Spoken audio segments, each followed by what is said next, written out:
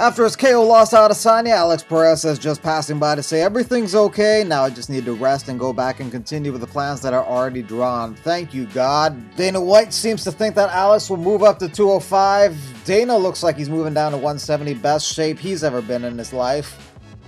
Gilbert Burns wants to be the backup fighter for Leon versus Colby, and Dana White says that he can be. Leon doesn't even seem to think he's going to be fighting Colby. He's asking people who he should fight. He wanted to fight Masvidal, but he lost. Chris Curtis thinks that he should have got the decision win over Kelvin Gastelum. And on Friday, Aspen Ladd lost to Elena Kolesnik. UFC fighters often don't do well when they go to the PFL.